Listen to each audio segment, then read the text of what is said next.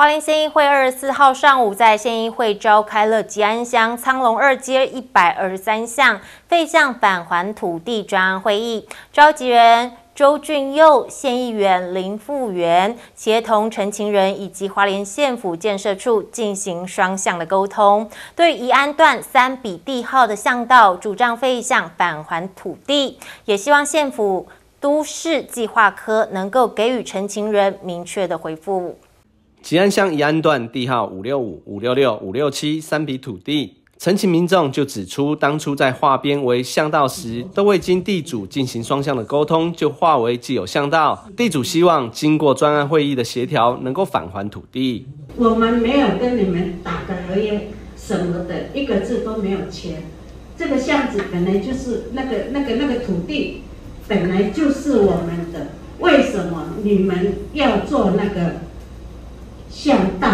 召集人周俊佑一言表示，由于土地都属于私人土地，民众认为划定上是需要经由地主的同意，而且目前也未进行架构补偿的程序，对地主却是平白无故损失相当大的权益。现有相当或既有都，大部分都是属于我们的私人土地的。比如说，他只借我们的建筑线的时候，要经过私人土地的时候，是不是要经过地主的同意？可是按照现今的建筑法规跟建筑法条的条文上面是不用是不需要经过我们地主是同意，比如说往往会造成很多人民的一个损失，还有权益的损失。所以说我希望说未来不管是既有道路或者是我们建筑巷道的一个认定或建筑线的认定，需要我们的县府或者地方公所能够在现刊了解当地的地势地况来做一判断，这是第一点。第二点，因为今天这个宜安段的问问题哦，我们也得到我们乡公所一个回，县政府以及乡公所回应，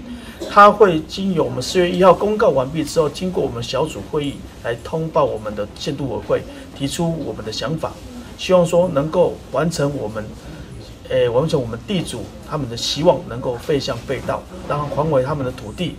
目前都市计划相关法令就指出。依据花莲县建筑管理自治条例第六条以及花莲县现有巷道废止或改道申请办法第六条规定办理，是可以进行巷道或是改道申请的。记者林杰花莲市采访报道。